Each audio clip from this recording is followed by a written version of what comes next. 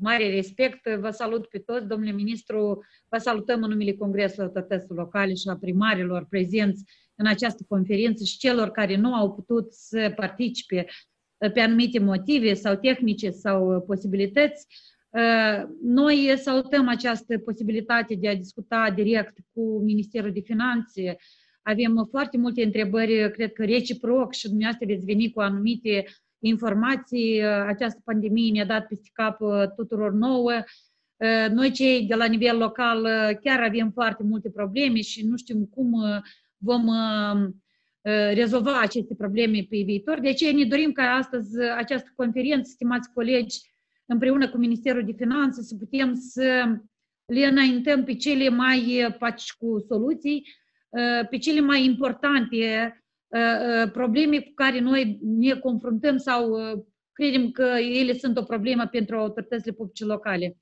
Sperăm cu acest început să fie un dialog, să folosim această platformă mai des, ca să putem să vorbim și cu domnul ministru și cu toți colegii de la Ministerul de Finanțe, inclusiv să putem împreună să găsim și soluții în rezolvarea problemelor de interes și local și național.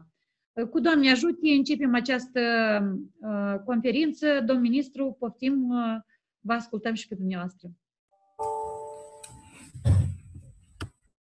Stimați colegi, vă salut și eu încă o dată cu toată deschiderea. Suntem foarte așa, optimist dispuși și vă mulțumim pentru această posibilitate de a comunica împreună. Optimist dispuși spun în sensul că să ascultăm ce situații sunt, complicații, eu știu, diferite și să găsim soluții. Noi parcă credem că suntem capabili să găsim împreună soluțiile respective și oportunitatea de, de a discuta pe această platformă este una foarte, foarte bună.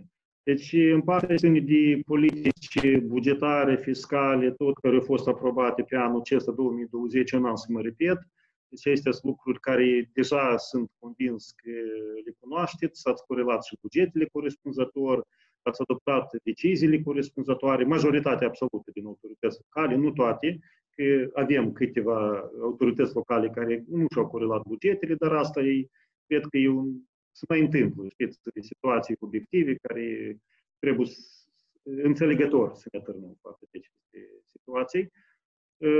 Mai mult, cred că trebuie să ne oprim deja la situația care o avem zilele de astăzi, situația pandemică, deci asta e ceea ce vizează activitatea zi cu zi, și impune anumite accente, schimbări, câteodată nu cele mai plăcute, ba chiar dureroase, în acțiunile noastre, în deciziile noastre, care pe alocuri devin a fi, devin a fi nepopulare și nu tot timpul înțelese, dar așa este rolul și responsabilitatea noastră în fața cetățenilor țării noastre ca să adoptăm și decizii și de așa, de așa gen. Încă o dată mă repet, cu toată responsabilitatea și conștientizarea efectelor care le generează. Acum, cu rectificarea bugetului care a fost operat acum recent, cunoașteți că s-au făcut două lucruri.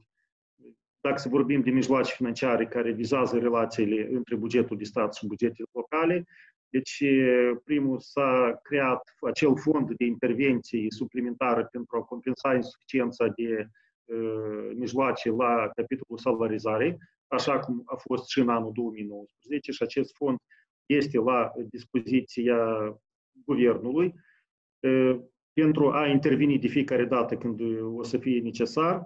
Uh, și, doi, este majorarea sau da, majorarea transferului către bugete locale cu cele 192 de milioane de lei care vin să compenseze veniturile decăzute sau ratate ca urmare a efectelor pandemiei. Plus la aceasta pentru, nivelurile, pentru nivelul, nivelurile 2, deci știți că o să mărească și veniturile la fondul de susținere a populației cu 71 de milioane de lei, dar asta începând cu data din 1 iulie, ca urmare a aplicării încă două taxe suplimentare, cea pe aeroportuară și taxa de portabilitate a numerelor telefoniei mobile. Cam acestea sunt acele, acei piloni de bază asupra cărora am lucrat și care am reușit să le identificăm ca sursă de finanțare și să venim cu ele în Parlament. Deci, la general, dacă îmi permiteți, înainte de începe discuția deja așa mai, mai punctată, deci, vă spun, situația bugetară este una destul de încordată, destul de încordată. Eu văd cifrele care sunt în executare și la venituri și la cheltuieli pe toate bugetele. Păi vreau să vă spun că bugetul de stat în această perioadă s-a dovedit a fi cel mai tare expus, supus efectelor negative a acestei pandemii și crizei economice care deja o resimțim. De ce bugetul de stat? Cred că totuși că o parte preponderentă sau majoritatea veniturilor bugetului de stat se fac din veniturile de la importuri de la vamă, dar importurile sunt scădere accentuată, să nu folosesc alte cuvinte mai așa, mai dure. Deci și de aici bugetul de stat avem o scădere a veniturilor realmente în jur de 40% suntem în minus. Față de anul trecut. Nu față de suma planificată, față de anul trecut. Dar suma planificată, știți că este încă cu 11% mai mare ca anul trecut. Deci, realmente, față de suma cât trebuie să încasăm la ziua de azi, deci noi suntem cu minus 50%. Deci, iată cu așa sursă financiare operăm, încercăm să manevrăm, să finanțăm necesitățile cele mai stringente, să ne respectăm angajamentele legale și sociale față de sistemul medical, față de prestațiile sociale, față de transferurile către autoritățile locale, care, după câte sper că ați observat, nu, nu ne-am permis să nu facem anumite transferuri la timp. Deci ne-am străduit până acum, până la moment, să menținem acele angajamente față de colegii de, care administrează alte bugete să fie totalmente executate în termen și de plin. Deci este poziția Ministerului de Finanțe care o să facem tot posibilul și imposibil ca să fie realizat. Mulțumim, domnul ministru. Deci, în continuare, noi cred că oferim cuvântul Tatiana. Deja voi hotărâți cine din la minister să facă, eu știu, o informație introductivă pe temele. Cum am vorbit, că ați spus că clasificațiile și după aceasta o să... După aceasta trecem la a treia parte cu întrebări și răspunsuri. Dacă o informație scurte, întrebările cele cel puțin care s-au... Domn director, deci este propunere așa, informații scurte pe buget, doamna Tatiana o să facă, ulterior, pe, să știți că alături suntem, este și domnul Dorel Noroc pe politici fiscale, dacă sunt întrebări, este alături doamna Raisa Ghelan pe întrebări de salarizare, dacă o să fie, și este alături doamna Angela Voronin pe întrebări ce țin de înregistrare contact, contracte, executare plăți, trezorărie. Am înțeles că din ce ați scris, am înțeles că și acolo sunt ceva întrebări. Noi da. suntem gata să răspundem la toate întrebările. Ok, și după aceasta de colegii care îți vreau să precizeze anumite lucruri, momente, o să vină deja cu clarificările necesare. Bine, atunci, Tatiana, vă rog frumos, preluați mai departe. Mulțumesc. Eu o să mă refer pe scurt la proiectul de modificare a legii bugetului pentru anul 2020, principalele modificări care au intervenit și vor avea impact asupra bugetelor autorităților publice locale. Deci, în proiectul de modificare a legii bugetului de stat pe anul 2020 au fost precizate sumele transferurilor de la bugetul de stat către bugetele locale pentru anul 2020 prin majorarea acestora cu 270,1 milioane lei. Uh, dintre care cea mai mare parte este formată din alte transferuri cu destinație generală, care au fost suplimentate cu 192,1 milioane lei pentru compensarea veniturilor ratate ale bugetelor locale, în special din impozitul pe veniturile persoanelor fizice. Și metoda de repartizare a acestor venit, uh, transferuri va fi similară transferurilor cu destinație generală. A doua sursă de majorare a transferurilor sunt eh, transferurile din Fondul de Susținere a Populației, cu 71 milioane lei la care se referit și domnul ministru. Și a treia sursă sunt transferurile cu destinație specială pentru finanțarea învățământului, dar eh, în special pentru procurarea utilajului școlar, mobilierului, în cadrul proiectului Reforma Învățământului din Moldova, finanțat de Banca Mondială, Uh, deci aceste transferuri s-au majorat cu 7 milioane lei. Uh, un pic de detalii aș vrea să dau referitor la cum a fost calculată suma de uh, compensare a veniturilor ratate, pentru că am avut mai multe întrebări la acest subiect. Deci, ca bază pentru estimarea pierderilor sau compensărilor veniturilor ratate, au servit estimarea pierderilor din impozit pe venitul persoanelor fizice la nivel de republică, având în vedere că începând cu anul 2020 au fost modificate cotele de defalcare din acest impozit la bugetele locale de nivelul 1, care acum deja primesc 100% de procente în loc de 75 și la nivelul 2. Astfel, la repartizarea pierderilor pe primării s-a ținut cont de pierderea acestor încasări a pierd fiecare primărie în totalul încasărilor pe țară din acest impozit dar dacă sunt întrebări mai detaliate, o să răspundem ulterior.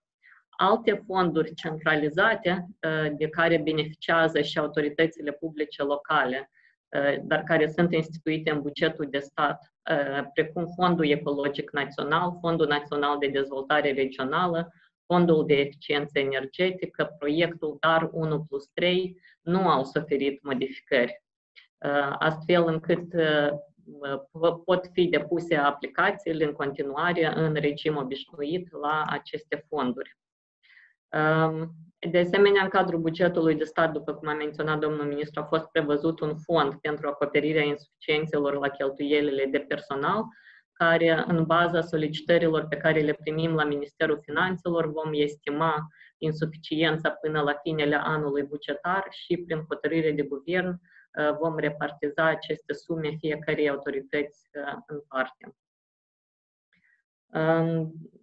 Astfel, urmarea a modificărilor în legea bugetului de stat, toate autoritățile publice locale urmează să-și coreleze bugetele cu modificările aprobate în luna aprilie și concomitent se recomandă ajustarea bugetelor locale la partea de venituri și cheltuieli în funcție de impactul crizei asupra bugetelor locale. Um, au mai fost mai multe întrebări legate de taxe, dar astea o să le las pentru domnul Noroc și apoi putem să trecem la, la sesiunea de întrebări ca să nu ocupăm prea mult spațiu. Ok, mulțumesc. Da, domnul Noroc, vă rog. Bună ziua, stimați primari, domnul președinte, Aici sunt mai multe propuneri pe care noi le-am discutat și în anii anteriori legate de impozite locale, impozite imobiliare și impozite funciar. Noi, în Minfin, nu o să găsiți un partener care este împotriva consolidării veniturilor, mai ales în partea ce de impozit funciar. Noi credem că impozitul funciar este o sursă importantă de potențială de creștere a veniturilor autorităților locale este important să găsim mecanismul cel mai eficient care o să aibă cea mai mare șansă de a fi implementat. Văd anumite propuneri pe impozitul pe lux să fie la bugetul local. Înțeleg intenția nobilă a noastră, dar trebuie să înțelegem că acest impozit are o caracteristică separată de impozitul bunuri mobiliare și anume faptul că el, întinderea lui poate fi pe toată țara, putem să uh, același subiect poate să aibă un bun imobil într-o localitate și în alta și atunci să apară întrebarea unde urmează să achite acest impozit pe avere. De ce eu cred că cel mai corect este să consolidăm impozitul pe bunuri imobiliare și impozit funciar. După mine, acestea sunt sursele cele mai importante de a crește veniturile autorităților locale. Este un subiect legat de plafonarea impozitelor și taxelor locale un subiect care este sensibil și cred că merită o ședință separată noastră. Putem să o atingeți și astăzi în discuții, în întrebări. Legat de evaluarea simplificată a bunurilor imobile, pe care tot le discutăm de mai mult timp, inclusiv cu mine personal, aici sunt două momente. Una, există ordinul Ministerului Finanțelor din anul 1997, pe care și dumneavoastră l-ați indicat, referitor la indici comasația valorii de inventariere a bunurilor imobile. Asta este o variantă ca să modificăm acest ordin. Și a doua variantă este ceea ce a făcut primarul de la Feștilița. Dumnealui nu a utilizat acest ordin, dar a analizat prețul la dumnealui în localitate și prin metoda comparației a determinat prețul pentru celelalte bunuri.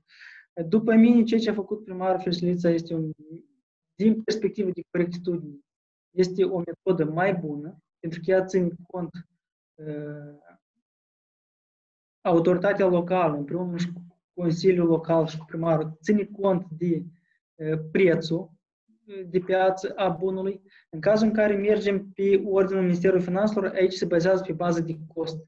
Și temerea noastră este că, actualizând acest ordin, s-ar putea ca în multe localități, în care, mai ales în cele rurale, în care, practic, prețurile sunt la pământ, ce ține de imobile, urmarea actualizării acestui ordin, prețurile să crească foarte puternic și să nu corespundă realității, ceea ce o să creăm o, o problemă cu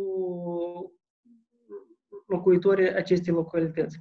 De aceea eu aș propune să avem o discuție mai largă pe ceea ce a făcut domnul primar de la Feșterița și să vedem posibilitatea implementării acestei abordări în care, printr-un anumit regulament aprobat de Consiliul Local, eventual să fie revăzute prețul bunurilor imobile, dar spuneam că avem și proiectul Băncii Mondiale ce ține de evaluarea bunurilor imobile, care trebuie să evalueze pe toată țara.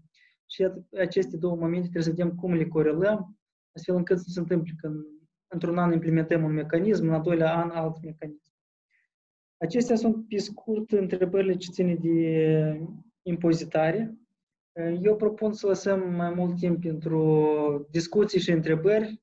Dumneavoastră cunoașteți acele momente care sunt mai stringente. Mersi. Da. Domnul ministru, Tatiana? Da, da, suntem. Mai, mai, mai are cineva să prezinte ceva informații din partea Ministerului? Sau trecem deja la... Dacă permiteți, doamna Raisa Ghelan, șeful direcției da. Ok, cu schimb, să terminăm cu prezentările.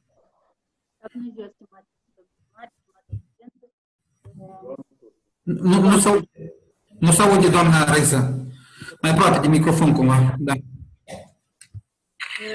La discuția precedentă care am avut-o, tot cu reprezentanții autorităților publice locale, una din probleme care a fost elucidate a fost discrepanța dintre salarizarea conducătorilor instituțiilor de cultură, salarizarea specialiștilor din primării, la fel ca și poate necorespunderea sau uh, a salariilor uh, conducătorilor instituțiilor de învățământ primar, uh, învățământ um, timpuriu, uh, în funcție de numărul de elevi. Îndată după această ședință, noi am început analiza um, numărului de copii și numărului de grupe pe întreaga Republică, în toate primăriile, am acumulat aceste date. Acum le analizăm din perspectiva clasificației pe categorii a acestor instituții, Ehm, ce la prima vedere, ehm, concluzia am făcut-o, avem, de exemplu, în ultimele cele mai mici categorii, categoria 5-6, același salariu la directorii de grădinițe cu 4 copii și cu 250 de copii. Avem așa situație. Ehm, următoarea analiză va fi pe segmentul de învățământ primar, gimnazial și liceal pentru a veni cu careva propuneri în condițiile de salarizare a acestor angajați. La fel ca și pentru specialiștii primăriilor, vom analiza și vom veni cu careva propuneri pentru următorul an bugetar. Ok, mulțumim, doamna Raisa. Putem trece, domnul ministru, la următoare? Da. Mai are cineva de prezentat? Mai atât.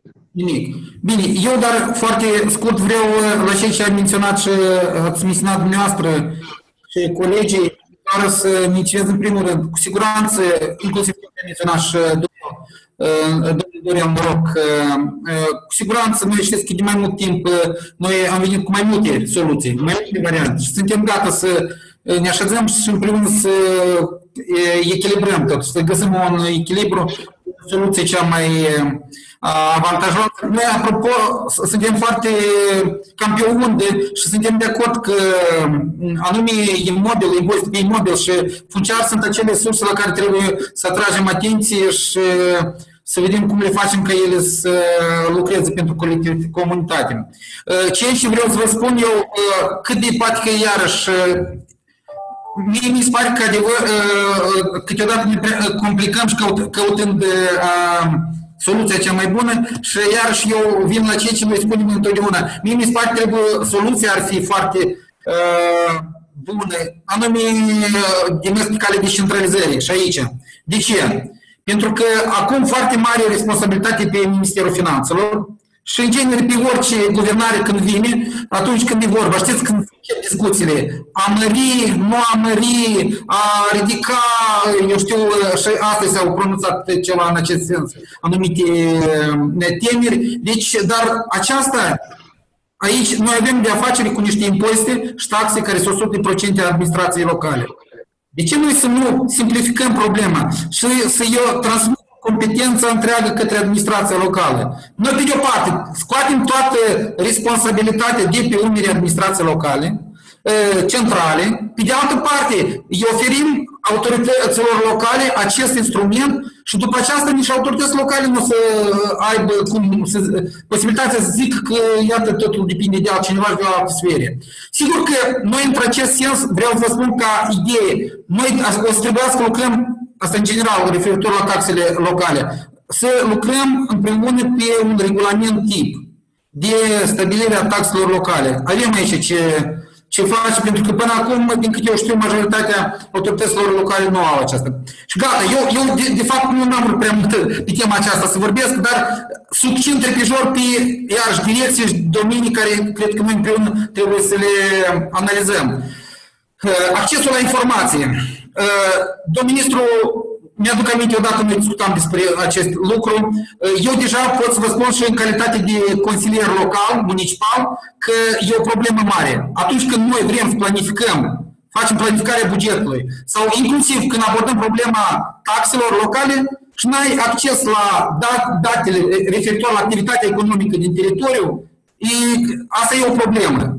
Probabil trebuie cumva de găsit o soluție aici privind uh, agenții economici, filialele, cine e înregistrat, veniturile, circularea lor și așa mai departe. Asta e o problemă iarăși pentru autorități locale. Cel puțin eu am observat deja și în calitate de ales local, atunci când au fost aprobate bugetele. Mai departe, cu soldurile.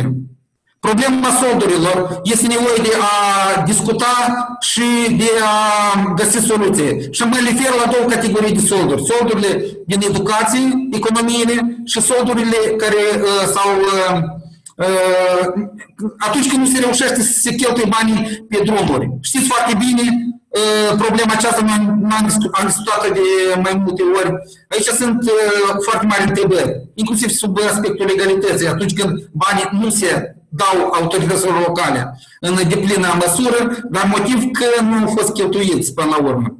Cu salarizarea aici s-a, menționat puțin, dar noi și aici credem că este o soluție. Știm foarte bine, au apărut uh, multe întrebări, chiar atât pandemia a arătat, că există o anumită, știți, o anumită inechitate în, în unitatea asta sau în abordarea asta unitară.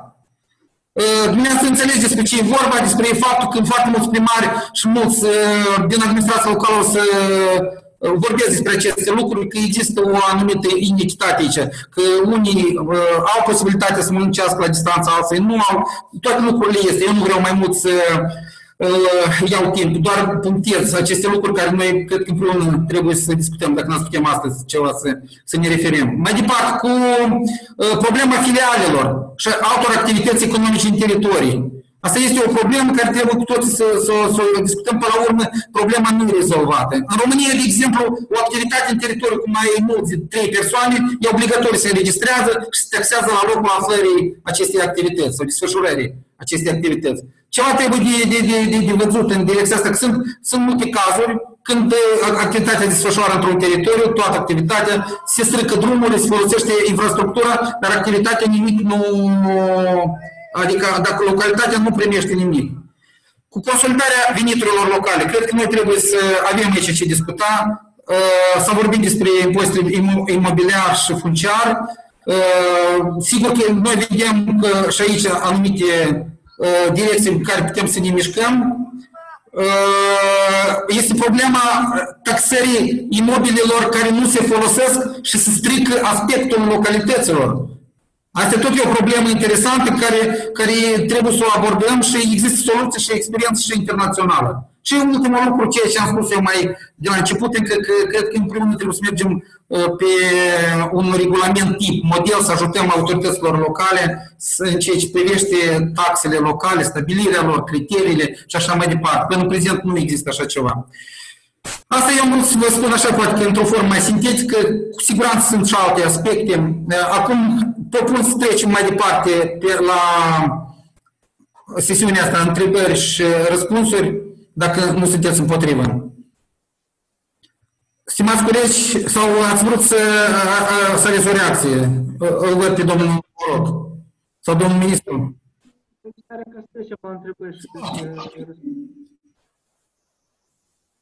Da, da, domnul Rog. Am dat din cap să trecem la întrebări și răspunsuri. Atunci, stimați colegi, da. Domn director, dacă îmi dați voie. Sau... Primarul de Cricova. Domnul... Întrebare, deci, care poate dumneavoastră deja ați menționat, ceea ce ține deci, de la soldurile, deci din bugetul de stat cu destinație specială. Deci este un paradox atunci când directorul grădiniței sau încearcă să facă anumite economii pentru a-și rezolva o problemă, dar ajungem la sfârșit de an și suntem puși în fața uh, faptului că nu pot folosi soldurile acestea. Un moment și al doilea moment. Deci vreau să menționez și eu tot același lucru. Neechitatea în legea 270 în salarizarea anumitor categorii deci de uh, salariați. Deci lucrul acesta noi îl repetăm și îl repetăm. Vă dau numai un exemplu. Um, salarizarea, deci la uh, instituțiile extrașcolare și salarizarea la instituțiile școlare sau, deci, hai să zic, de educație temporie sau educație gimnazială și așa mai departe. Atunci când aceeași categorie merge la extrașcolar, care poate să lucreze până la două salarii și să aibă un salariu de 12.000 pe când, mă rog, eu știu, acompaniator sau mai știu ce, deci să și același lucru la un educator presupunem care stă 8 ore și lucrează cu copiii și așa mai departe. Lucrul acesta, mă rog, dar îl socotim că nu eu, dar îl socot oamenii că nu-i, nu-i corect. Ok, mulțumim.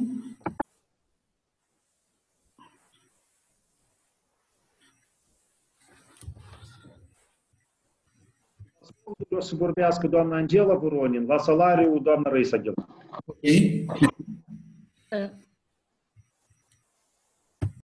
Bună ziua!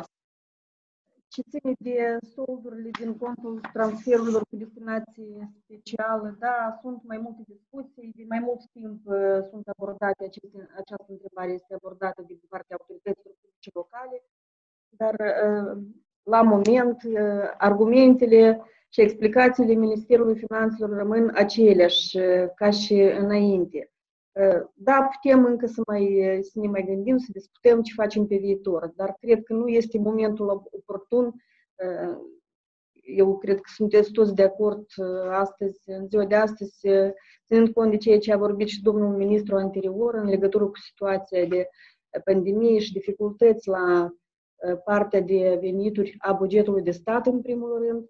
Deci, poate nu este momentul oportun ca noi să transferăm soldurile transferurile cu destinație specială în sumă absolută, totală, la conturile bugetelor locale, atunci când bugetul de stat se confruntă cu problema de dificultate de gestionare eficientă a lichidităților. Care a fost oportunitatea și argumentul pentru a implementa acest mecanism începând cu anul 2017, dacă vă aduceți aminte, de a transfera aceste mijloace cu destinație specială în baza documentelor de plată prezentate la trezorerie. În primul rând, Ministerul Finanțelor de asemenea trebuie să se racordeze la constatările și recomandările Curții de Conturi, pentru că cunoașteți că în mai multe rapoarte de audit a bugetelor, a executării bugetelor locale, Curtea de Conturi menționează că se acumulează multe solduri în conturile bugetelor locale care sunt stagnate, adică și nu sunt utilizate eficient. Și Al doilea argument al nostru, totuși, este de a fortifica, iarăși, în baza recomandărilor Curții de Conturi, de a fortifica controlul asupra utilizării anume conform destinației a transferurilor. Deoarece dacă documentul de plată este prezentat în trezorerie, respectiv se confirmă și se justifică necesitatea de efectuare a unor astfel de cheltuieli. Permiteți, stimați colegi, să intervin tot cu o informație succintă, eu cred că toți să o înțelegem. Iată, am ridicat informația la data de astăzi dimineața în conturile bugetelor locale, surse, mijloace disponibile, în sumă totală de 1 miliard 332 milioane lei. 1 miliard 332 milioane lei.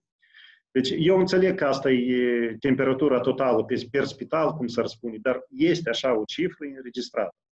Acum, ca să înțelegeți cam cât e asta, mult sau puțin, în raport cu exercițiul bugetar 2020, în conturile bugetului asigurări sociale de stat, BASO, care e un buget foarte mare, sunt doar 57 de milioane. În conturile de fondurilor de asistență obligatorii de asistență medicală, 220 milioane. Iar în conturile bugetului de stat, dacă scoatem acele împrumuturi valutare care sunt la Banca Națională, sunt 109 milioane lei. Deci bugetul de stat 109 milioane, basul 57 de milioane, medicina 220 milioane și bugetele locale 1 miliard 332. Deci este cifre obiective la ziua de astăzi dimineața. Deci acum cam ce s-ar întâmpla dacă să ne uităm la procesul bugetar în ansamblu. Deci, în ansamblu, știți că Ministerul Finanțelor e responsabil conform legii și așa e corect să fie. Bugetul de stat e, e acea sursă de finanțare a tuturor de insuficiențe de mijloace pentru celelalte bugete. Așa e după lege și așa este corect. Deci, la ziua de astăzi, Ministerul Finanțelor, pentru a finanța la timp și integral toate transferurile către toate bugetele, că toate celelalte bugete sunt beneficiare de transferuri din partea bugetului de stat. În așa situație, bugetul de stat, prin Ministerul Finanțelor, permanent se împrumută. Se împrumută pe extern, se împrumută pe intern. Pentru aceste împrumuturi, noi toți, bugetul public național, statul, suportăm dobânda, care o plătim. Așa este corect. Tot în același timp, avem în conturi 1 miliard 300. Deci, Sigur că din partea și a noastră și a curții de conturi, dar cred că și la noi toți apar întrebări. Dar cum gestionăm noi lichiditățile? Pe de o parte ne împrumutăm, plătim dobânda, pe de altă parte le ținem în conturi. Deci asta este situația obiectivă la ziua de azi. De ce? Eu, pe de o parte, înțeleg așa tentația ca toți banii să fie transferați deodată, ca fiecare autoritate locală să-și gestioneze bugetul, dar în condițiile zilei de astăzi chiar este, cel puțin, e o temă să ne gândim toți împreună cum ar fi corect. A, dacă se poate o întrebare? Da, domn primar, poftim. Primarul Ieloveni. Da, mulțumim, Sergiu Armaș, primarul de Ieloveni. E foarte corect spus, dar noi suntem acum într-o situație când o decizie, a doua, una după alta vine. Noi nu putem să facem lucrările este și normal că s-a acumulat sursa asta. Deci cum să facem lucrările respective? Eu plăcere aș face achiziție acum, mai mult de două persoane nu trebuie să afle. Noi am început să facem niște lucrări, nu poliția nu a amendat. Haideți să ne uităm și la... Clar că Curtea de Conturi și Inspecția Financiară vin și o să ne facă observații. Dar dați să ne uităm real la situația de astăzi. O să treacă pandemia asta și eu cred că nu văd o problemă. Dar noi suntem în situația când astăzi chiar nu putem ca să facem lucrările astea și, și evident că, iată, domnul ministru are dreptate aici că s-a acumulat o, o sumă destul de mare care noi urmează să o gestionăm corect. Aveți dreptate. Dar haideți să ne uităm situația reală care este asta. Mulțumesc. Domnul ministru, aici, dacă pot numai să concretizez, aici problema nu e în fapt că poate că imediat să fie și toată suma fie transferată, dar la noi avem situație că la urma urmei bugetele locale nu le primesc sumele astea. O, o, anumite sume nu, nu mai ajung să fie transferate, se primește. Că, și noi avem o situație tare interesantă. Deci, în cazul nostru, de exemplu, grădinițele vorbim, conducătorii împreună cu administrația locală gestionează efectiv, încearcă, așa cum se cere, da? să economisească, să nu cheltuie, să rosească banii, ei fac aceste economii și pe urmă banii din cauza aceasta nu le sunt transferați, pentru că omul le-ați cheltuit, spunem așa. Dar alții care, din contra, au prins, cum zice, știți, momentul, cheltuie absolut tot, trebuie, nu trebuie, fac lucrări, nu trebuie, mai fac încă o reparație, dublu și așa mai departe, măcar că ieri poate că au făcut și așa mai departe. Și se primește noi, prin acest mecanism, îi pedepsăm pe ești de bună credință. Înțelegeți? Aici e undeva problema, dar nu e problema în faptul că, mă rog, poate că nu îndată trebuie transferați banii ăștia, dar faptul că la urma urmei penalizăm și nu, nu stimulăm uh, bună credință și bună gospodărire. Domnul Viorel, poate să intervin eu la problema dată. Deci, eu nu știu, este bine că Ministerul de Finanțe acum face, vor, va face o analiză și pe, și pe salarii categoriile de salarizare, dar tot ar fi bine să avem o analiză pe, pe țară, pe grădinițe, care sunt costurile și cât contribuim noi, cât cheltuim noi în cadrul instituțiilor date. Noi, nu este așa un mare buget ca să vă dați seama pentru o grădiniță. Eu vă zic că localitatea mea, 125 de copii în grădiniță, noi nu putem să alocăm, noi avem resurse să achităm pentru sistemul de evacuare a deșeurilor, că avem niște haznale și contribui părinții, pentru că noi nu putem să ne încadrăm financiar. Dar dacă mai trecem și la gazificare, la sistemul de încălzire cu gaze naturale a, a grădiniței, în genere nu ne încadrăm nici în, în limita acestui buget. De ce? Poate de făcut o analiză să vedem care sunt necesitățile, pentru că nimeni nu a făcut un calcul care sunt necesitățile reale. Noi întotdeauna bugetăm din reieșind de ce sumă este planificată în bugetul fiecărui an. Mi s-a dat suma ce per, per copil, înmulțim la număr de copii un buget și încer, încercăm cumva să cârpim acest buget de întreținere a necesităților uh, instituției grădiniței. De ce? Uh, aici cum uh, este necesar să facem o analiză mai profundă. Pentru că, într-adevăr, deja de 10 ani nu facem reparație în grădiniță, pentru că nu ne putem permite financiar.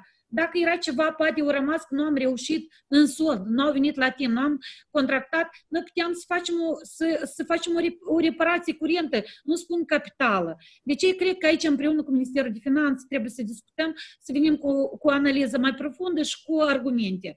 Și fiindcă repede o să încep și eu să înaintez, ne interesează totuși cum vom uh, acum, cum a menționat și domnul Armașu, noi două luni de zile nu prea am putut, am lucrat în cadrul primăriilor, dar nu am putut să facem anumite lucrări sau să rapor, achiziții publice pentru că eram în procesul de pandemie și asta este problema. Dar cum vom lucra mai departe? Ce facem cu drumuri bune? Fondul rutier, ă, toate acestea vor veni pentru că noi trebuie să știm, să începem să, cei care, ă, și va fi, va fi finanțat drumuri bune și fondul rutier pentru uh, și iluminatul public stradal care a fost anunțat și am prezentat informații. Ne interesează aceste fonduri și aceste anunțuri făcute pentru infrastructura unităților administrativ-teritoriale. După, avem alte întrebări. Cum vom activa? Cum vor activa? Vor activa grădinițele sau nu? Ce facem cu angajații? Ce facem cu angajații școlilor de muzică? Pentru că, domnule ministru, în perioada aceasta chiar am avut o problemă mare ce ține de salarizare și raporturile financiare între cu instituțiile de fapt publice. Unii au stat, n-au putut să, să ne argumenteze, nu am nimic, sunt angajații noștri din școlile de muzică.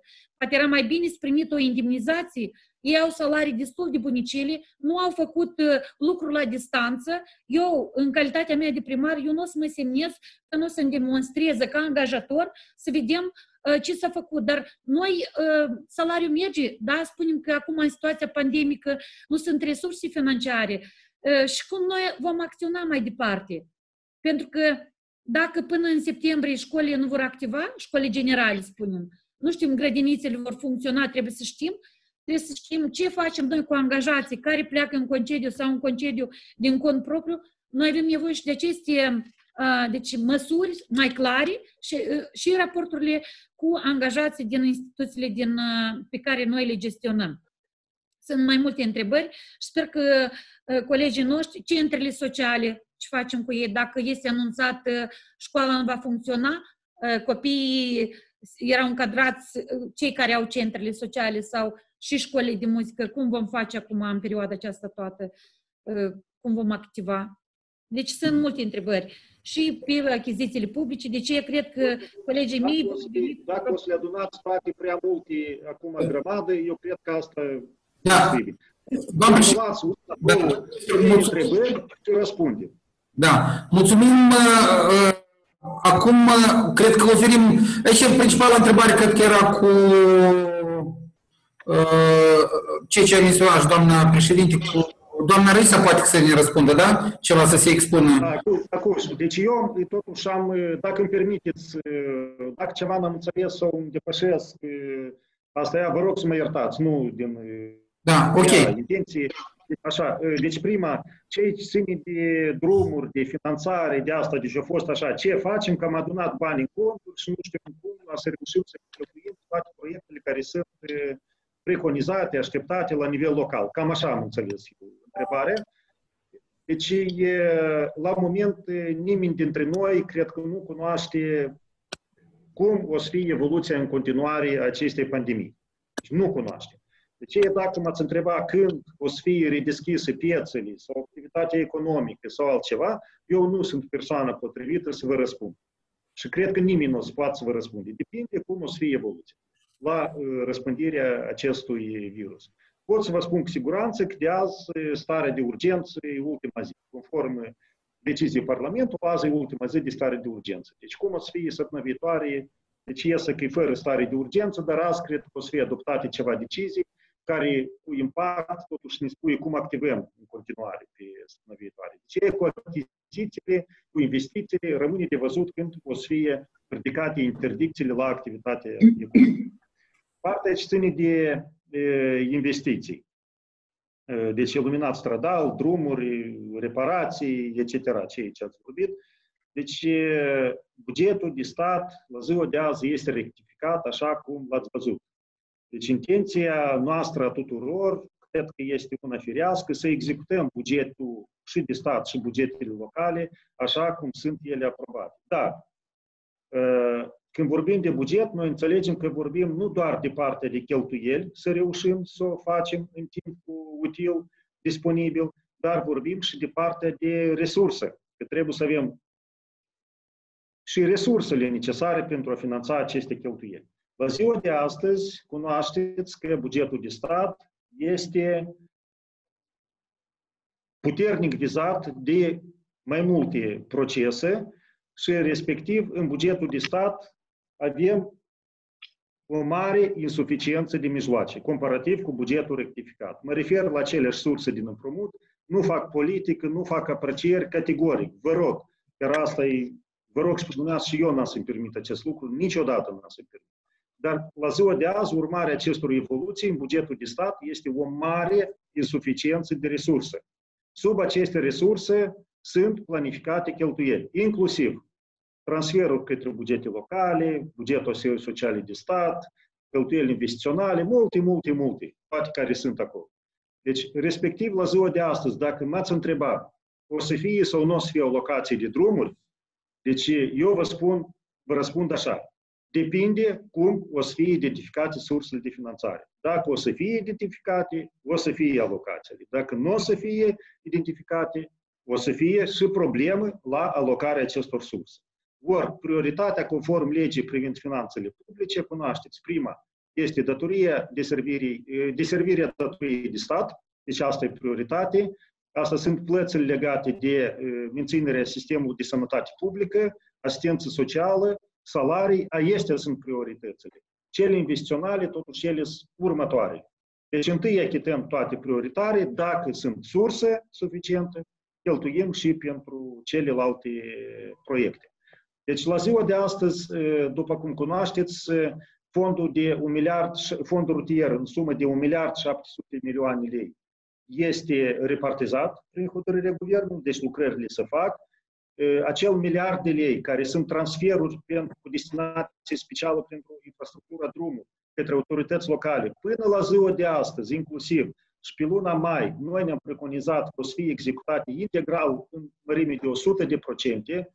Deci eu cred că, stimați colegi, dumneavoastră apreciați și înțelegeți ce înseamnă când veniturile sunt minus 50 de procente, dar transferurile se fac în volum de 100 de procente. Deci eu cred că conștientizați acest lucru și, de fapt, aceste transferuri sunt și temelia faptului că la ziua de astăzi bugetele locale nu tare au simțit criza. Deci eu văd după cifre, bugetele locale nu tare au simțit criza economică care deja o resimțim noi la bugetul de stat. Deci e că bugetul de stat face efortul maximal și total posibil și imposibil ca transferurile să fie achitate la timp și integral. Nu mărime de 50%, dar integral 100%. Vă rog să conștientizați această responsabilitate pe care avem toți împreună. De ce de drumuri? Miliard 700 sunt împărțite, le plătim cât avem mijloace, transferul către bugete locale le plătim la timp și integral, miliardul ceva. Cei ce sunt de programul acela de miliard 385, care a fost acum la rectificare pe drumuri, votat de Parlament, deci până la ziua de azi, hotărârea guvernului nu este de repartizarea mijloacelor și foarte mult depinde. Găsim sau nu găsim surse de finanțare acestui, acestui angajament mare a nostru pentru investiții. Tot așa ne referim la celelalte proiecte. Deci observați că ce ține de fondul ecologic, fondul de dezvoltare regională, deci toate subvenții în sector în agricultură, deci toate acestea se plătesc la timp și integral. Nu avem nici o reținere. Toate le-am achitat. Toate care au fost prezentate la Ministerul Finanțelor pentru plată. Absolut. Ce aici ține de salariu, îi transmit, deci dacă îmi permiteți, doamne Răisa, să comentez. Ok, și într-o dată dacă doamna Raisa deja o să vorbească, aici au fost, vă rog frumos să trageți atenție, mai adresez colegilor de la Ministerul Finanțelor și la chat. Aici sunt întrebări legate și de casele de cultură. Doamna Raisa, noi am mai discutat pe temele astea vă rog frumos, pentru că încă o problemă care, care se va confrunta, confrunta administrația locală și deja încep că de la 1 iunie o parte din cei care au stat acasă cum două, două luni și au primit salarii, deja vor să se ducă în concedii. Deci, asta e situația. Bine, doamna Raisa, poftim. Dacă să încep de la întrebarea din chat, angajații caselor de cultură practic nu au activități, ce face cu salariile lor? Vreau să spun că prin dispoziția Comisiei Situații Excepționale a fost dispus că pentru instituțiile finanțate din bugetul de stat și pentru cele finanțate prin transferuri cu destinație specială din bugetul de stat se păstrează salariile în perioada, chiar dacă nu a activat, aceasta fiind un angajament a Guvernului de a acoperi aceste cheltuieli. Totodată, prin acești dispoziții, s-a recomandat autorităților publice locale să păstreze salariile și pentru angajații instituțiilor din domeniile proprii de activitate, de competențe, dacă, dar totodată această decizie aparține autorităților publice locale. Guvernul, în acest caz, a venit doar cu recomandare.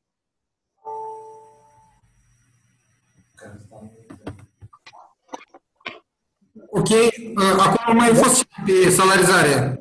Domn președinte, sau cine? Da, Ieloveni. Ieloveni, da? S-a vorbit de veniturile proprii și de autoritățile noastre care noi luăm o decizie. Noi avem problemă cu biblioteca, eu m-am consultat, am făcut demersul și la Ministerul Finanțelor, am făcut și la prim-ministru. Totuși suntem într-o situație când, eu nu știu dacă mai sunt raioane care au asemenea situații, cred că poate Ieloveniu e excepție, ce bibliotecă raională este întreținută de către, de către primăria locală din venituri proprii. Vă dați seama în situația astăzi când noi nu avem venituri, nu avem nimic, cum am putea întreține o bibliotecă care e, ea este în care în câteva filiale.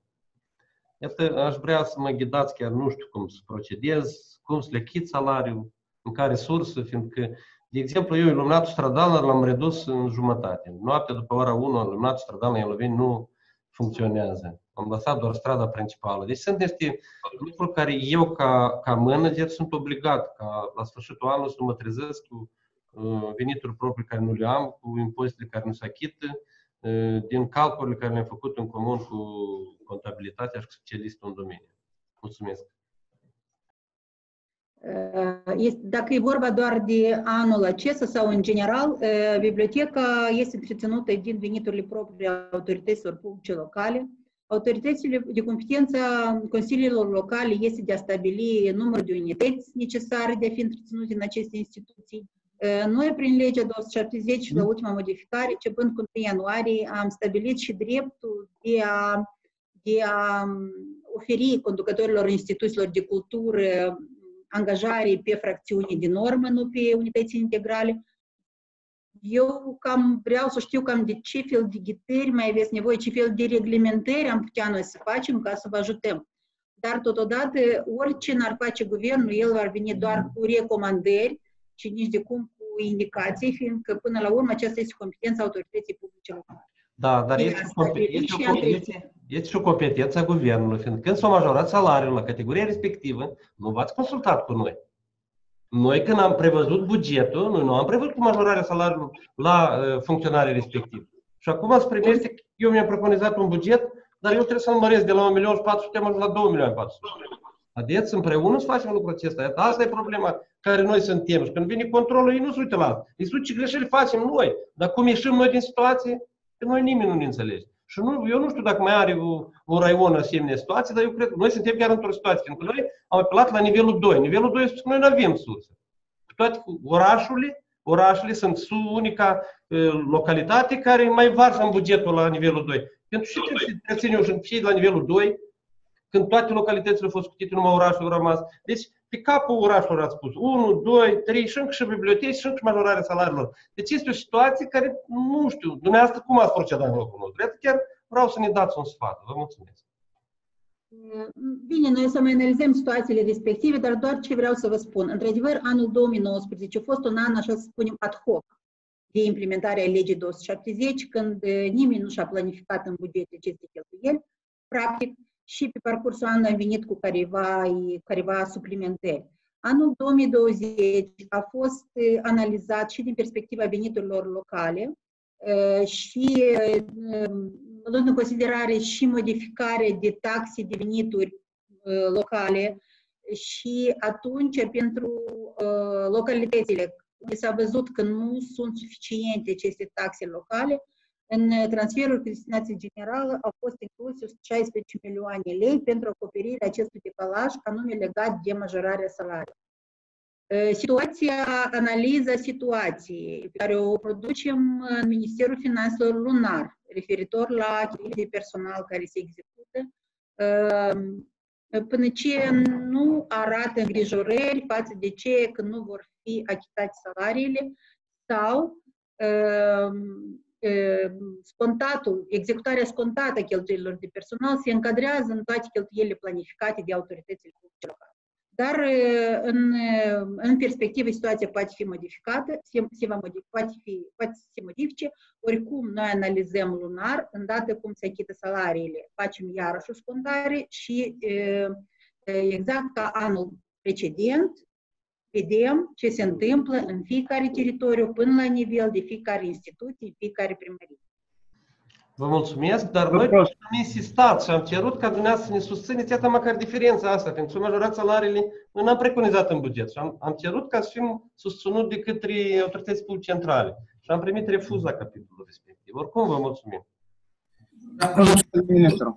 Da, spate întrebare. Întrebare, spate? Da, da, sigur, spate. Da. Господин министру, примар коммуны Цамбла Сензерецкого района, Михаил Ков. Мы имеем контракт с экологическим фондом. Проводим водопровод в селе Октябрьское с июня месяца прошлого года. На сегодняшний день сделаны работы, и были перечислены только контрибуция и на сегодняшний день работы не идут, потому что экологический фонд не перечисляет деньги, с этим, который выполняет работы по проведению водопровода. Как нам дальше быть? У нас в селе воды нет. А с людьми имеем неприятности, деньги вы взяли и ничего не делаете. Да, добрый день. Добрый день. Смотрите, я, насколько знаю, во всяком случае в казначействе Министерства финансов таких платежек неисполненных нету. Я могу предположить, что это связано с тем, что комиссия, которая принимает решение на уровне экологического фонда, есть специальная комиссия, которая принимает решение по распределению средств, возможно, не рассмотрела или не приняла соответствующее решение. Но документы, платежные документы, собственно говоря, уже платеж, платежка, когда приходит МИФИН, она исполняется Министерством. Они Но говорят, что... платежек нет. Они говорят, Министерство финансов не перечисляет деньги. Я говорил вот буквально три дня назад с ним. Да, я говорил и с Домну Кику, с Домну Усатым и Домну Пержу. Домну Кику премьер-министр имеете в виду, да? Да, да, он был у нас в Инжире, и я с ним говорил. Потом был Домну Пержу, был Домну Усатый. Все Да, сказали, понятно, что что да, мы возьмем на контроль, но по сегодняшний день мы люди, я имею э, неприятности в селе. Примар собрал деньgi и отдыхает. cred că deja asta trebuie de verificat, eu știu,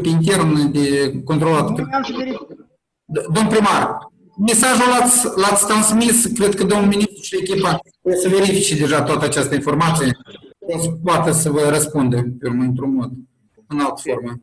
Da, pentru că sunt niște Da, și localitate, localitate. sângerei. Тамбула, Октябрьская.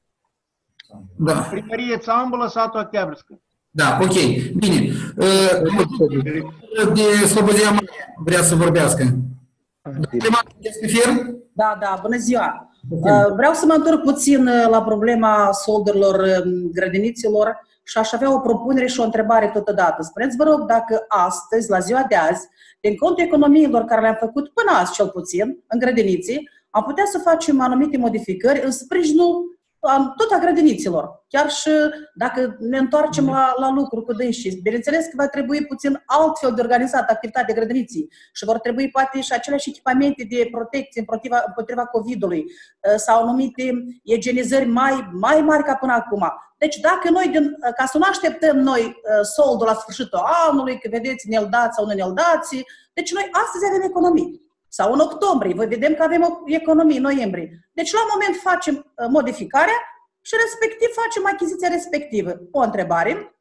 Uh, Și a doua întrebare um, vis-a-vis de inspectoratul fiscal uh, cu programa Schedule 2, nu știu dacă colegii au așa problemă.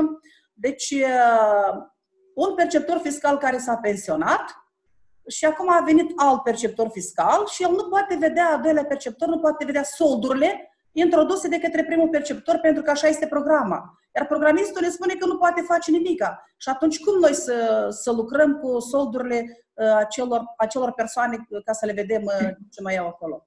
Deci astea două întrebări, dacă se poate. Mulțumesc, doamnă primar. Deci, referitor la transferurile pe, edu- pe educație, pe grădinițe, nu știu dacă v-am înțeles corect, dar dacă le utilizați banii tot în scopul de uh, finanțarea activității grădinițelor, atât timp cât pre- veți prezenta documentele de plată la trezorerie, acestea vor fi finanțate. Dar nu puteți utiliza banii de la grădinițe pentru alte, alte scopuri care nu au nimic în comun cu activitatea acestora. Deci acum cu scitul 2, întrebarea, eu nu o cunosc să fie așa situație, cum ați spus dumneavoastră, dar cred că este, da, dacă spuneți. Nu, în primul rând, recomandarea mea ar fi să încercați să soluționați cu serviciul fiscal întrebarea respectivă, dar dacă considerați că trebuie Ministerul Finanțelor să implice, noi am notat. Programiști. Am încercat cu inspectoratul Familia fiscal și nu s-a primit. programistului și am să invităm programistul și vedem ce e problema. Bine, mulțumesc.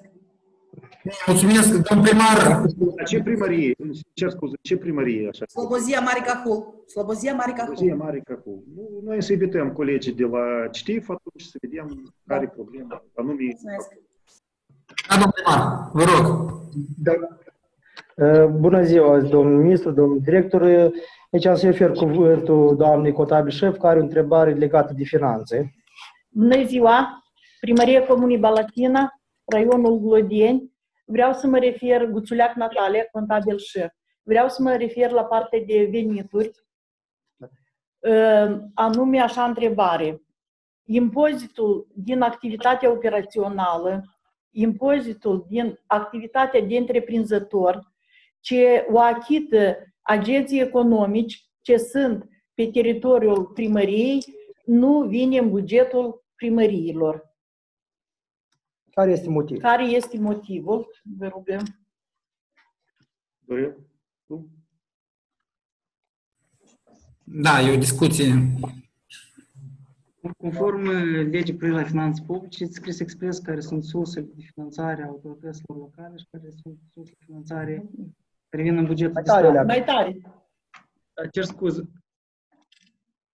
Conform legii finanțelor publice locale, este menționat care surs, sunt sursele de finanțare a autorităților locale, ați dat de nivelul întâi, iar impozitele care le-ați menționat dumneavoastră, impozitul pe venit din activitate operațională și impozitul pe venitul din activitate de- de întreprinzător, acesta este un impozit care este o sursă de finanțare a bugetului de stat. Eh, Noi am avut diverse discuții referitor la faptul acesta să, fie, să rămână la autoritatea locală și aici putem să discutăm foarte mult despre avantaje și dezavantaje, eh, cum el se redistribuie pe teritoriu și așa mai departe. Dar actualmente legea prevede că acest impozit este o sursă de finanțare a bugetului de stat. Da, dar am dorit să vin Vreau, vreau să, să bugetul intervin local. doar, doar cu o remarcă, doar cu o remarcă să revin. Într-adevăr, discuțiile este de mult, noi putem să revenim la ele, să vedem cum se formează bugetele diferitor uh, autorități locale, dar uh, trebuie să înțelegem clar că în momentul ce facem, dacă facem acest lucru, deci noi uh, atunci diferența de la o primărie la alta la venituri a să fie una totală, poate fi la unul tot zero pur și simplu, că agentul economic a lucrat în minus, care e în teritoriu, se întâmplă, da, a fost ceva rău și a avut pierde. Și e zero, dar la altul invers poate să fie mu. Sau în 2 ani e zero, a 3 de ani mult, la altul iar e zero. Noi pierdem toate, deci o să fie foarte diferențiate venituri de la localitate la alta. Foarte. Deci o să fie niște discuții foarte grele și multe pe tema respectivă. Deci, dar, pe de altă parte, eu ce am vrut să adaug la chestiunea dată de obiectiv? Iată, obiectiv în anul curent, în anul 2020, situația de pandemie, eu cred că marea majoritate sau majoritatea absolută a autorităților locale trebuie să undeva să se bucure că e așa anume. Deoarece anume la impozit venit de la întreprinderi, noi avem o scădere undeva de 70%. 70%. Deci dacă ar fi fost așa cum ați spus dumneavoastră, doamna contabilă, stimată doamna contabilă, deci considerați că venituri acum ar fi fost minus 70% la bugetele locale. Dar în cazul dat, de la impozitul acesta, în cazul dat, în formula existentă de finanțare, practic tot minusul ăsta l-a primit și l-a compensat pe sine bugetul de stat. Deci, asta tot, eu de ce vorbesc de lucrurile astea? Că să înțelegem în ce poate să, să, să iasă așa o inițiativă. Se întâmplă într-un an ceva nu bine, autoritățile locale, locale rămân fără venituri. Poate fi și așa ceva. Mulțumim. Uh, cum așa încă o întrebare? De premii nu s-a menționat nimic, dar știți că ba să discutați că se aprobe, după aia s-a prelungit. Care e situația cu premiile? Cu ajutorul material? Cu premiile anuale? Da, și cu ajutorul material. Stimate, ajutor material, da și ajutor material. Ajutor material, legea nu prevede, după câte cunosc, dar de premii o să încerc să, să, să vă spun. Deci, conform legii, știți că este prevăzut că deja e posibil de uh, achitat premie odată în an. Conform uh, prevederilor, deci în luna mai urma ca Ministerul Finanțelor să vină cu acel regulament de premiere. Uh, totodată, noi suntem puțin rezervați cu promovarea acestui regulament, de ce că noi simțim un risc foarte mare de insuficiență financiară. Deci dacă să vă spun așa sincer, la nivel de buget de stat, de autorități care se finanțează de buget de stat, și, și am adoptat schema respectivă, nu se stabilizează situația economică, financiară, bugetară, noi de premii nu discutăm. Deci dacă dumneavoastră la nivel local discutați acum de premii, eu înțeleg că situația la bugetul local este una cel puțin nu mai rău ca la bugetul de stat, dar cred că mai bun, dacă puteți să discutați de premii. Deci până la Nu moment, cred că regulamentul a fost discutat, a fost propus. evoluțiile bugetare. Bine, mersi. Ok, mulțumim. Doamna primar Emilia Albu, vă rugăm frumos, Ochnița. Doamna Emilia?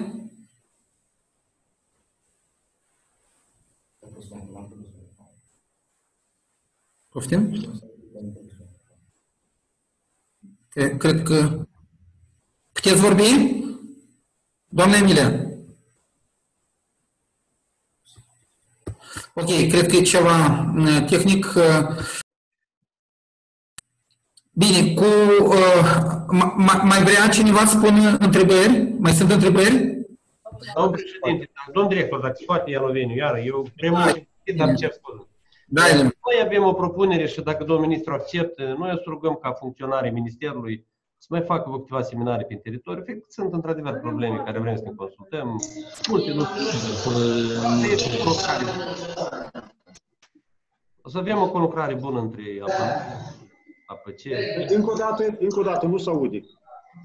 Domnule, dacă se poate funcționarii din cadrul Ministerului să mai facă câteva seminarii, problemele care le avem noi la nivel local, să avem și o conlucrare și... Haideți să le facem... În teritoriu, în teritoriu. De acord, dar să le facem tematice, poate. Știți, ca să nu da, facem... tematice. Un vinegret. Conversăm, să discutăm. El oprește că scrie la... Haideți să vedem atunci, domn director, domn director, domn Viorel, Haideți da, da, domn ministru. să vedem atunci un fel de grafic, așa, eu știu, pe raioane sau pe interraioane, cum se și tematicile care sunt. Cu plăcere, cu plăcere și absolut suntem deschiși. Așa, discutăm, delegați cu cineva care e responsabil și discutăm uh, problema asta, să vedem cum organizăm. Da, mulțumim. Uh, doamna Iraida. Lăhnița sau că doamna Emilia nu s-a putut conecta, nu știu dacă mă conectez, că eu vin de la Chișinău. Am avut o întrebare cu lucrătorii lucrătorii noștri tehnici. Tehnici. Mm-hmm. Da, sunt probleme.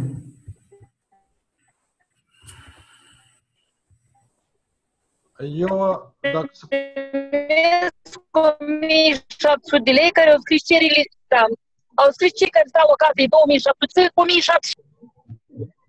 Doamna Irene, nu se aude, nu se înțelege. Știu, el nu crește. Lucrătorii tehnici au, care lucrează în primărie primesc 1700 de lei. Aceștia din șomaj au 2775 de lei la mână. Din care considerente? Oamenii au socotit că e mai bine să stai la oficiu forțelor de muncă decât să muncești. Clar, doamnă. Mersi. Alo. O să cer răspund. Știți, decizii ideale și perfecte, cred că e greu să le identificăm. Așa e realitatea noastră. Și numai în perioada pandemică. Deci, ca să cifra asta de 2775, ea a fost corelată cu salariul minim care este stabilit. Deci salariul minim este 2750 de lei, deci să poate, haideți această indemnizație de șomaj să fie la nivel de salariu minim.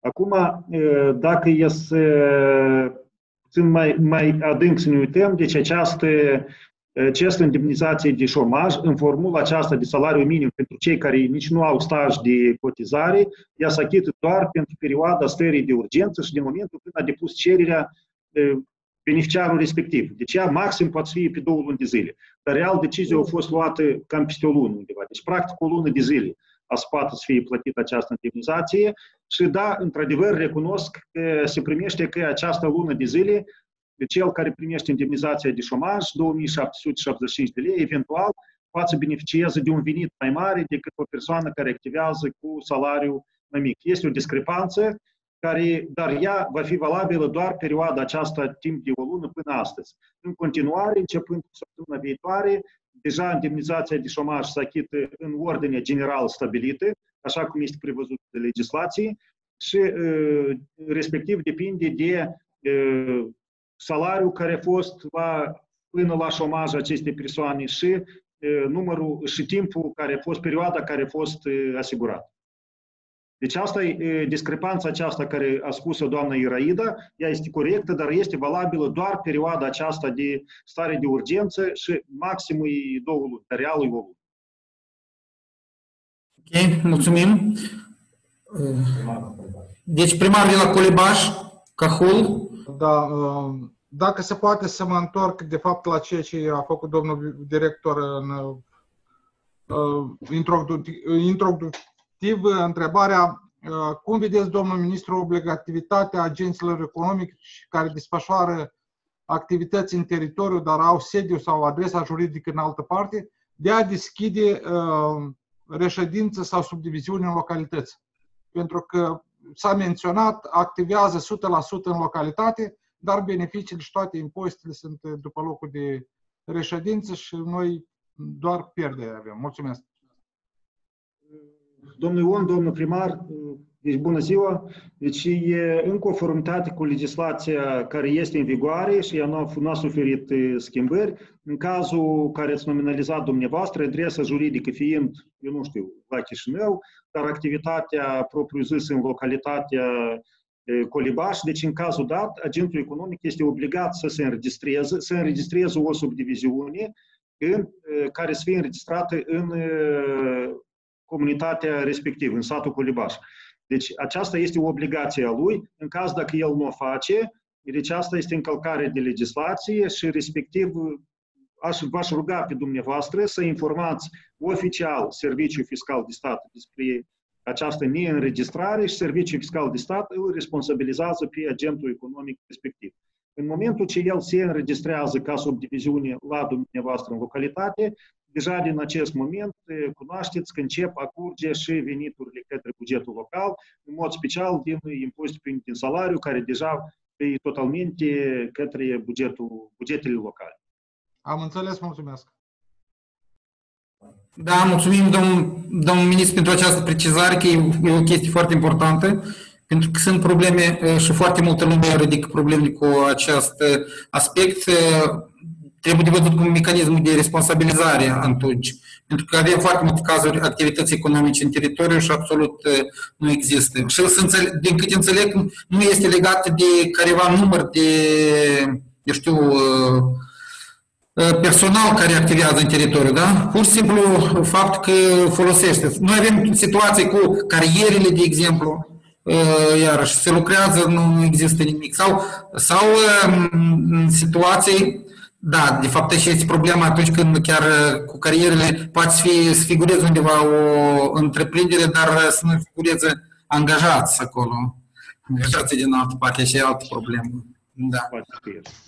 Haideți să examinăm fiecare caz individual. Eu sunt gata, ca de exemplu cazul de la Colibaș, dacă, să dacă aici s-a ridicat întrebare, să rog scriem chiar uh, cam care e situația și noi ne străduim o zi, două, trei să intervenim. Ar care este situația dumneavoastră, cum îl vedem noi și în caz dacă răspunsul e cel care îl așteptați, să venim cu acțiunile corespunzătoare. Am înțeles. Ok? Da, da, domnul Mar. Poftim. Cine, cine a vrut să... Primarul Șeptiban Rodion Lungu. Așa, președintele asociației. Da, da, da, da. Domnule ministru, mă numesc Rodion Lungu, primar șapte bani, Râșcani. Am așa o întrebare. Eu știu, întrebarea asta mă frământă de mulți ani, dar totuși nu pot scoate până la cap, totuși aș drept părerea dumneavoastră. Carierele de piatră, nisip, care se află pe teritoriul administrației publice locale, sunt obligate să plătească arenda teritoriului dat sau numai impozit funciar? Da, am înțeles întrebarea. Deci, haideți așa, dacă e de fiscalitate de asta, cunoașteți, taxele pentru extragerea resurselor naturale minerale se duc la nivelul 2, în partea de impozite pe venit din salariu se duc la nivelul 1, deci marea majoritate, și plata de arendă terenurilor trebuie de văzut. n-am să pot să vă răspund, acum trebuie să verific, domnul primar. Deci, după toate, eu, așa, intuitiv, v-aș spune, dacă este contractul de arendă, trebuie să plătească. Chestia între e că noi contract, mă scuzați, contractul de arendă a fost, o plătit acolo o lună, două, pe urmă am apelat în judecată de mulți ani, asta de vreo 15 ani, că eu sunt primar de am de 25 de ani. și am ajuns până la Curtea Supremă de Justiție și n-am ieșit cu nimic. Practic, m-am adresat la un șir de prim-ministru, la întrebările la prim-ministru, de exemplu, domnul Tarlev ne-a răspuns în felul următor, că ei plătesc ori arenda, ori impozit funciar. Dar e clar că între arendă și impozit funciar este o diferență. Da, ei la moment, noi avem 39 de hectare de carieră, adică teritoriul care îl ocupă, la moment dumnealor achită impozitul funciar, nu e clar că e impozitul din salariu, conform legii, dar noi cred cunoașteți, impozitul funciar și plata de arendă este o diferență, Olea. Da. Bine, vă mulțumesc. Domn primar, o să verificăm noi, deci pe linia noastră, dar dacă sunteți în instanța de judecată, eu presupun că aveți și careva hotărârea instanței respectiv. Da, desigur, desigur avem. Da, și la urmă e scris că e revocabilă. Da, dacă ne-ați da aceasta ultima irrevocabilă, pentru noi ne-ar fi ca suport, ca să ne inspirăm și noi.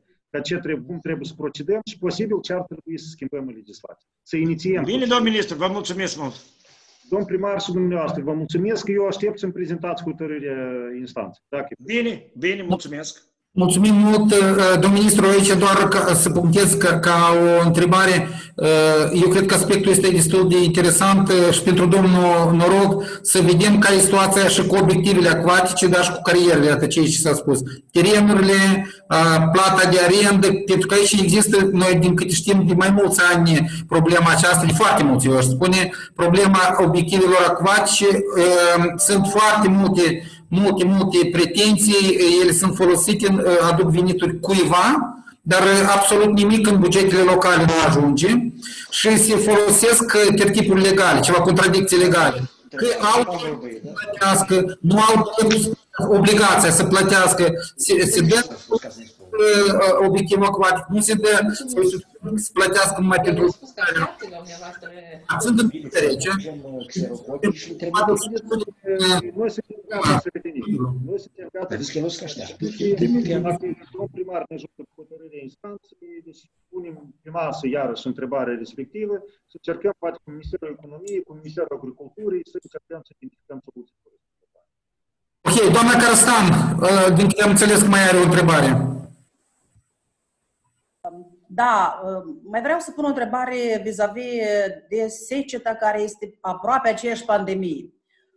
Spuneți-vă rog, pentru că agenții economici de la noi din localitate au ridicat deja întrebarea dacă vor fi subvenții în susținerea lor privind efectele secetei din vara și din ultima perioadă, de fapt, și 2019 și 2020, noi suntem într-o zonă secetoasă rău și ne-a plouat foarte puțin. Avem câmpuri de 100% afectate foarte grav. Eu, domn ministru, dacă puteți, ce să le transmit eu agenților economici, Consiliul Local deja a examinat această întrebare, a constatat că într-adevăr avem câmpuri de 100% afectate, dar noi am dat de numeri, eu ca primar și am zis, nu știu, voi face un demers în adresa guvernului și voi vedea ce răspuns pot să ne dea dumnealor ca să vă răspund și eu dumneavoastră.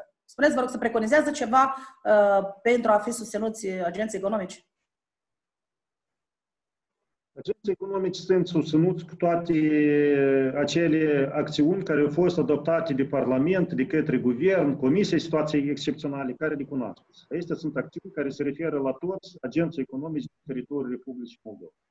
Deci, în partea ce ține de secetă, dacă ne axăm. Deci, la momentul de față, știu că Ministerul Agriculturii face o estimare a pierderilor care au suportat agenții economici din acest sector ca urmare a secetei, nu pandemiei, da, secetei. Și după aceasta o să încercăm să iar să ne uităm în buget, de unde o să avem surse de finanțare, de intervenție cu careva ajutoare. Deci înțelegeți, toți bugetul 1 e a nostru, comun, și dacă uh, o să alocăm ceva mijloace acolo, dacă Parlamentul o să decide alocare, ce Parlamentul dacă o să decide alocare, deci noi toți împreună trebuie să înțelegem care e sursa de finanțare a acestor alocări. Sau e austeritate la venituri, tăiem din alte cheltuieli, la cheltuieli, cer scuze, sau identificăm surse de venituri sau finanțare deficitului suplimentar. Deci asta este așa, provocarea noastră, că noi împreună să facem acest Înțeleg că în cazul dat, autoritățile locale, din ceea ce spuneți dumneavoastră, doamna Valentina, este că ați aștepta ajutor de la bugetul de stat. Eu așa înțeleg. Deci bugetul de stat e o situație bugetară care eu am mai expus-o, nu vreau să o repet, vă rog să o conștientizăm cu toții. Bugetul Uh, de stat... Am înțeles, am înțeles. Poate ar fi bine de la cele uh, ajutoare venite de la Uniunea Europeană să, să fie alocate care avea uh, susținere în sectorul agrar, în special datorită secetei. La ziua de astăzi, din partea donatorilor, da, nu, ajutoare, haideți, când vorbim de ajutoare, cred că mai mult e titlul gratuit ne referim. Dacă Da. nu sunt împrumuturi, sunt împrumuturi. Astea sunt ajutoare care trebuie să le întorci pe urmă. Deci asta tot trebuie să fim foarte corecți în aprecieri. Deci, e, e, la ziua de astăzi, e, practic, granturi în buget nu prea intră, n-au intrat deloc. E, Avem împrumuturile corespunzătoare de la Fondul Monetar Internațional intrate. Aici sunt sursele principale de finanțare externă care le avem la ziua de astăzi. Din partea Uniunii Europene nu am primit așa ajutoare, nici împrumuturi. Se discută mult, dar careva finanțare încă nu am primit. Acele sume care au fost sonorizate de 87 de milioane de euro, 100 de milioane de euro, acestea sunt două sume cu care s-a vorbit mai mult, 87 de milioane de euro. Ele sunt eh, direcționate mai mult pentru susținerea sectorului de medical, de sănătate, de sănătate în condițiile pandemiei și ele sunt, eh, o să fie finanțate, știu că încă nu sunt finanțate, dar o să fie finanțate în afara sistemului bugetar, deci prin alte procedee, proiecte, finanțare directă, donații, deci așa, dar nu prin sistemul bugetar, deci nu o să fie intrări de mijloace în buget. Eh, Ceea ce ține de eh, a doua componentă, 100 de milioane de euro, așa numitul eh, program de finanțare de urgentă Omnibus, așa e denumirea acestui proiect. Acum suntem în discuții intense cu eh, delegația Uniunii Europene ca să identificăm eh, deci suntem în proces de tratative, chiar ieri am primit scrisoare semnată din partea delegației, prin care, da, s-au acceptat inițierea negocierilor, o să fim în tratative, negocieri, după procedură, după tot, în caz când trecem tot, tot, tot, deci ar trebui undeva în luna iulie, cred că să primim prima parte, eh, jumătate din această finanțare, ca împrumut, împrumut 50 de milioane de euro, acela ar urma să vină în buget. Deci asta e undeva în jur de un miliard de lei, finanțare bugetară care e, urmează Parlamentul să o distribuie deja în ce scopuri va fi cheltuit acest miliard. E, Deci, la moment, scopul nostru, cum îl vedem reșind în realitățile zilei de astăzi, este, ar fi să reușim să finanțăm acele angajamente bugetare care le avem la ziua de azi prevăzute în rectificarea bugetului. Dacă să e, ne referim la agricultură, chiar ne-am pus ca prioritate și un, așa o ambiție ca să finanțăm integral fondul de uh, intervenție în agricultură. Acel miliard de lei care e prevăzut în buget, chiar vrem să-l finanțăm pe deplin, necătând la faptul că veniturile sunt uh, afectate puternic. Bine, vă mulțumesc. Vă mulțumesc. Domnul ministru, mai este o întrebare, mi se pare că e destul de interesantă din partea domnului Nicolae Tudoreanu, primar de Feștiliță, Ștefan Vode. Domn primar, vă rog. Da, bună ziua, domn ministru, bună ziua, colegi. Saudi? Aude, se aude bine. Uh, Eu o să mă întorc uh, la problemele care le-a, la care s-a referit domnul Noroc. Uh, Evident că bă, de mai mulți ani discutăm și nu putem intra într-un câmp al normalității referitor la veniturile proprii, pentru că ele, de fapt, suferă cele mai multe uh, probleme odată cu adoptarea codului fiscal uh, din 99 și raportat la modificările care au fost făcute la legea uh, privind finanțele publice locale din la 1 ianuarie 2016. Atunci când am centrat bugetele pe venituri, uh, veniturile din, din impozitul funciar și bunurile imobiliare sunt net inferioare uh, banilor care cheltuim la încasarea lor. Dacă cu impozitul pe bunuri imobiliare noi am hotărât ceva și azi încasăm de 10 ori mai mult în raport cu anul 2016, atunci impozitul funciar, vreau să vă zic că este unul destul de vag. Părerea mea este că ar trebui să facă o, o analiză care era cota impozitului funciar în sine costul producției agricole în 1999 și care este cota impozitului funciar în sine costul producției de, de, din vremea aceasta, pentru că vă dați bine seama, un leu 50 grați hectar raportat la 99 cu anul 2020 este o batjocură totală. Vorbeați dumneavoastră că vreți să realizați totalmente miliardul de lei subvenții în agricultură. Atunci, haideți să revenim și să instituim un coeficient de indexare a impozitului funciar, pentru că uh, ne dăm foarte bine seama uh, că în anii buni niciodată Agenția Economică în Agricultură n-a dat mai mult impozit uh, și doar operează cu anii grei când sunt secetoși, iar în anii când sunt buni, atunci nu se laudă că încasează mult mai mult decât au încasat în anii secetoși. De aceea propunerea mea este totuși să verificați la nivel de minister care era cota impozitului funciar în sine, costul producției agricole din 99 și care este cota impozitului funciar acum. Și să vedem diferența ca să, într-un fel, să, uh, să-l ajustăm la, la situația anului 2020 și, în general, ar fi foarte bine ca în legea privind punerea aplicarea titlului 6 din codul fiscal să fie reflectată uh, o clauză prin care uh, uh, urmează a fi instituit un coeficient de indexare la plata impozitului funciar, pentru că atâta timp cât se amână implementarea cadastrului, autoritățile publice locale pierd foarte multe venituri și este foarte și foarte incorrect în raport cu veniturile generale de stat, care de la 1999 încoace au suportat modificări și modificări considerabile. Trebuie să le punem pe o linii paralele și să lucrăm și cu una și cu alta. Mulțumesc! Mulțumim, domn primar! Eu știu cine poate să... Dacă îmi permiteți, domnul Dorel, vreau să intervin. Da, da.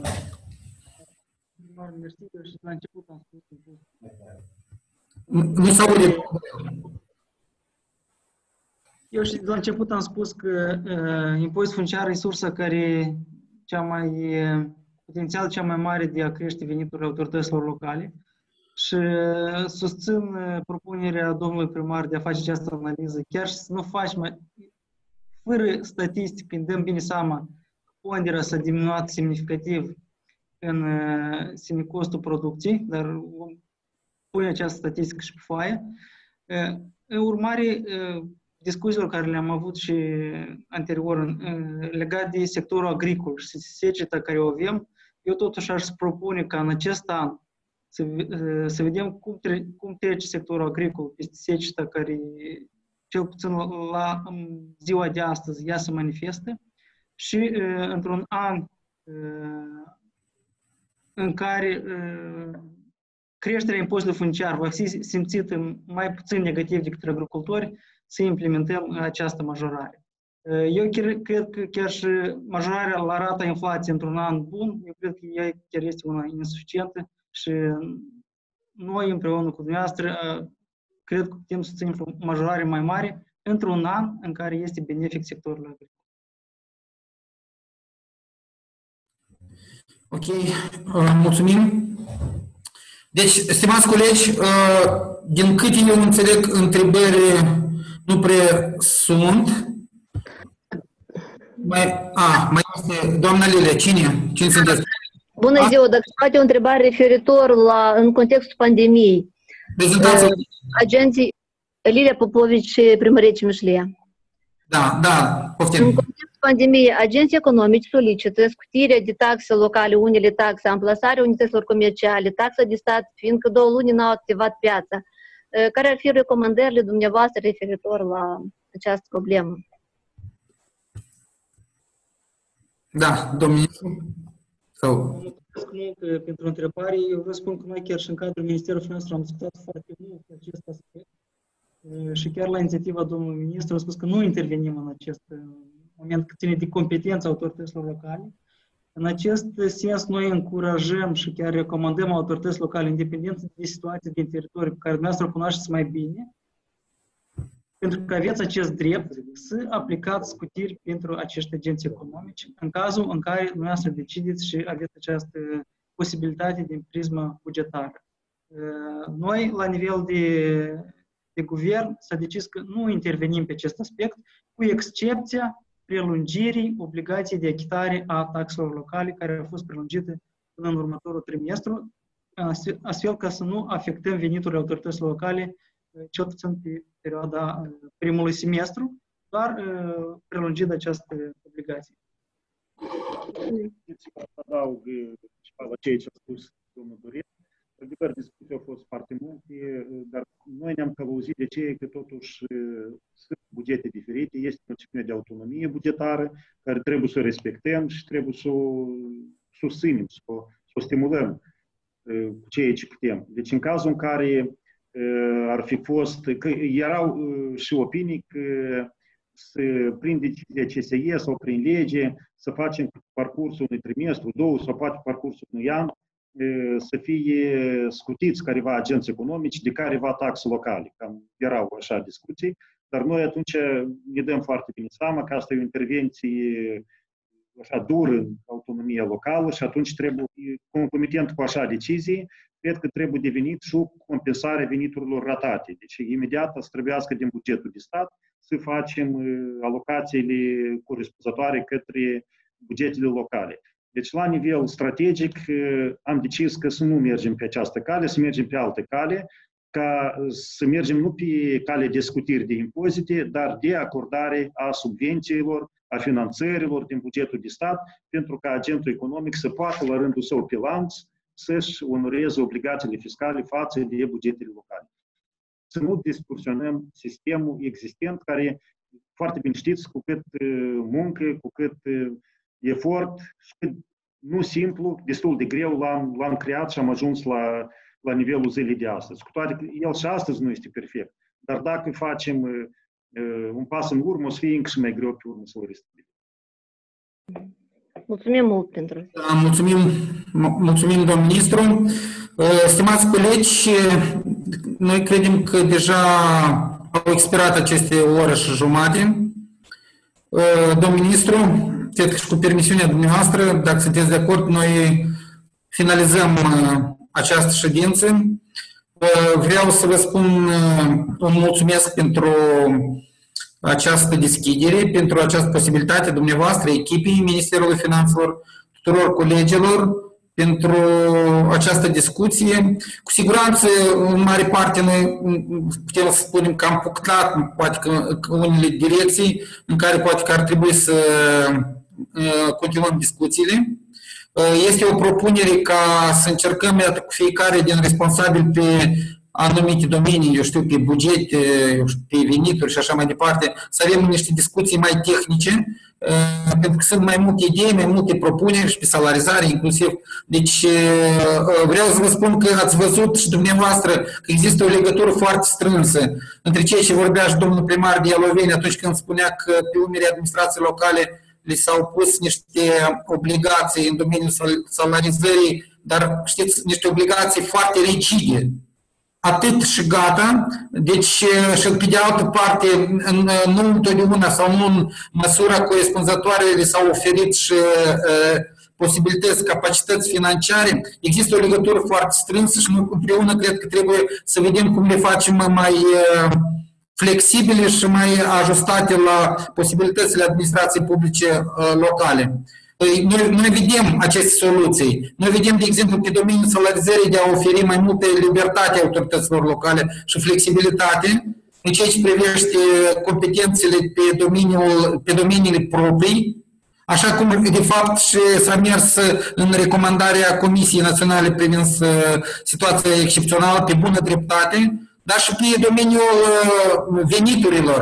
Am văzut că există potențial, noi de mai mulți ani vorbim despre aceste probleme și sperăm foarte mult să, să începem să le, cumva, să le depănăm și să, să ajungem la niște rezultate concrete. Sunt și propuneri foarte concrete, sunt și, ați văzut numai pe impozite pe funciar, există și model, există câteva opțiuni trebuie să ne așezăm și să le discutăm și să avem niște rezultate, rezultate concrete. Deci, încă o dată, vă mulțumim tuturor. Domnul ministru, dacă aveți dispus la sfârșit câteva cuvinte. Da, dacă permiteți. Da. Apropo, iată că a fost ședința, am în fața mea, acum mi-au dus extrasul din trezorărie, ce documente de plată sunt neexecutate astăzi, din fondul ecologic. Știți că a fost întrebare, precum că nu se finanțează din fondul ecologic careva plăți. Deci la ziua de astăzi, din fondul ecologic, sunt neexecutate patru plăți care sunt la plată în trezorerie și toate sunt așa, nu, nu cu termen mare, sunt recente. Deci sunt patru primării, dacă veți pe le anunț, le anunț practica nouă, primăria Șuri, Alexeev, Casatul, Malovata. Gata, altele nu le avem la plată. Deci în rest, toate care vin, toate le plătim. Deci, Azi concret, trebuie văzut situația asta concretă. Trebuie văzut totuși la fondul ecologic. Deci acum, dacă mi-ați dat posibilitatea, un cuvânt de recunoștință față de, de toți primarii, de toți conducătorii autorităților locale, către dumneavoastră, domn director, privitor la așa constructivismul și înțelepciunea și profesionalismul cu care toți împreună noi trecem această perioadă complicată pentru noi. Eu vă mulțumesc de încredere care o aveți față de guvern, față de Ministerul Finanțelor, față de răbdarea de care dați dovadă și față de acele abordări deodată nestandarde le aveți, dar toate sunt benefice și sunt pentru depășirea problemelor, situațiilor cu care ne ciocnim noi toți. Vă mulțumesc foarte mult pentru faptul că suntem o echipă. Sper să continuăm activitatea așa și mai productivă și în perioade de post-criză, atunci când ne mai plăcut, discutăm nu doar de probleme, dar și de careva proiecte de dezvoltare și ceea ce folosesc această ocazie, încă o dată pentru toți, vă doresc sănătate, protejați-vă, fiți atenți în tot ce cum, cum activați. Vă mulțumesc da. foarte mult! O zi bună! O zi bună!